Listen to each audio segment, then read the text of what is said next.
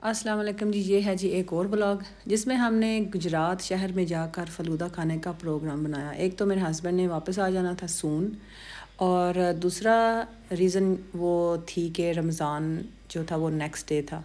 और फिर जब हम फलूदा खा रहे थे ना तो उधर ही को गुआ गया, जिसका मतलब ये था कि कल रोज़े शुरू हो रहे हैं, पक्की बात है। तो ये है जी हमारी सड़क हम फंस गए जहाँ देखें गाड़ी, जहाँ देखें मोटरसाइकिल, चिंगचियाँ, रिक्शा। मतलब कि बहुत ही मुश्किल हो रहा था रास्ता कहीं से नज़र आए और हम जो है ना आगे मूव हों। लेकिन जिधर हमने जाना था वो गला नज़र आ गया फिर हमने रक्शे वाले को पैसे दिए और हमने चलने का फ़ैसला किया और वो फ़ैसला गलत नहीं था आ, क्योंकि इस तरह हमें और काफ़ी चीज़ें देखने को मिली। बाज़ार में हम चले और अंदर जाकर हमने काफ़ी कुछ चीज़ें देखी। कपड़े थे और ज्वेलरी थी और ये रेडियो के ऊपर तरह तरह के फ़्रूट लगे हुए थे। तो वो देख कर जो है ना काफ़ी मज़ा आता है और बचपन में भी जब हम आया करते थे अपनी अम्मी के साथ यहाँ पर तो तकरीबन वही बाज़ार है लेकिन काफ़ी जो है ना एक्सपेंड हो चुका है।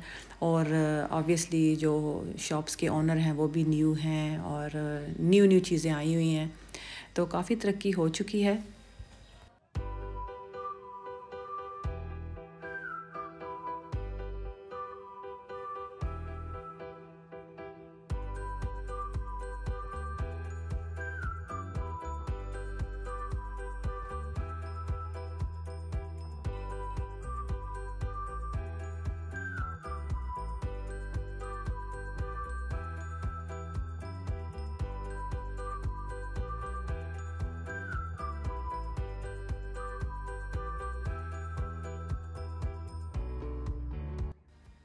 और ये देखें जी, अब हमने कॉर्नर मुड़ना है और सामने हमारी फलूदे की दुकान।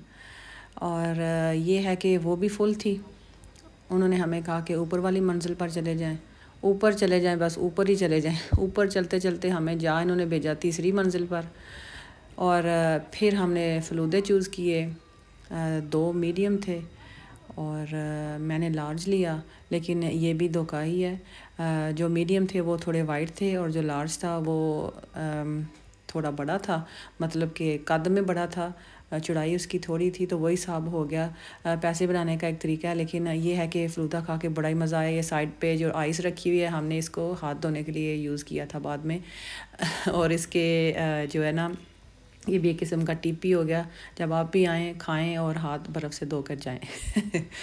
और ये है जी, मैं और मेरे हस्बैंड खा रहे हैं बड़े मज़े के साथ और बस, यही वो फलूदा है जो बचपन से खाते आए हैं, सेवियाँ, शेवियाँ और कुल्फ़ियाँ भी इसके अंदर थी। तो जिसको फलूदा पसंद है, वो नीचे कमेंट देकर ज़रूर बताएँ कि आपको कैसा लग रहा है हमें फलूदा खाते हुए देखकर। मैं क्या चलो, थोड़ा सारा ना फलूदा मकबंग भी हो जाए।